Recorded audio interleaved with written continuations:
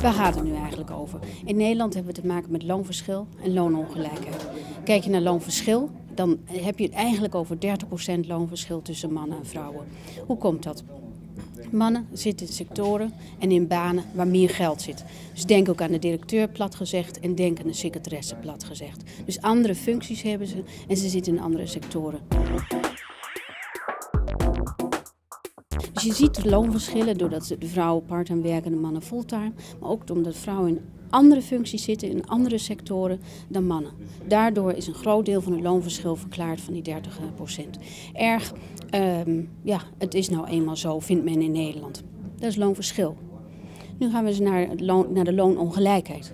Als je die 30% weer even neemt, dan is ongeveer 7% daarvan zou loonongelijkheid kunnen zijn. Loonongelijkheid is iets wat eigenlijk niet mag. Dat is loon, of dat echt loondiscriminatie.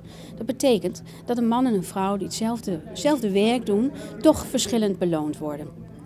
Nou zeg ik loondiscriminatie. We weten ook dat het niet altijd aantoonbaar is, heel erg moeilijk is. Arbeidsinspectie doet er lang onderzoek naar en ze weten het niet helemaal zeker. Maar in zijn algemeenheid mag het niet. Vinden we dat erg? Sommige mensen vinden het erg, sommigen niet. Soms is het verdomme als eb, en vloed. Dat we in Nederland zeggen loonverschillen, so what, kan mij het schelen. Vrouwen werken nou eenmaal parttime, mannen werken nou eenmaal fulltime.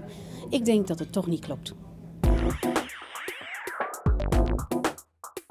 Goed, wat kan je nou doen aan die, aan die loonverschillen en die loonongelijkheid? Eigenlijk is het heel simpel. Als je kijkt naar de ondernemingsraden en de vakbonden, wat ze in essentie zouden moeten doen, is zich minder concentreren op die oudere blanke man met zijn verworven rechten.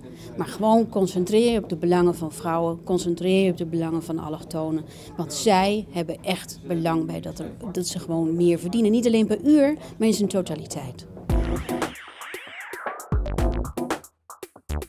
Wat kunnen ondernemingen doen? Op de eerste plaats moeten ze natuurlijk gewoon de wet naleven, dat is, dat is evident. Maar een volgende stap is dat ze zich in principe zouden moeten generen als ze niet vrouwen en allochtonen op de beste positie zouden hebben. Doen ze dat wel, dan doen ze ook aan, zoals men dat tegenwoordig noemt, maatschappelijk verantwoord ondernemen. Als deze overheid ervoor zou zorgen dat vrouwen minder vast zouden zitten, eigenlijk als een soort gevangenisje vast zouden zitten in die kleine baantjes, dan zouden ze, dat zou ongelooflijk veel helpen. Als vrouwen meer kunnen verdienen, niet alleen per uur, maar ook in de hele week, uh, heeft, de heeft de overheid daar voordeel aan. Want vrouwen werken dan beter, niet alleen nu, maar ook weer later voor een pensioen. Let op het pensioen, het vrouwenpensioen is nu klein.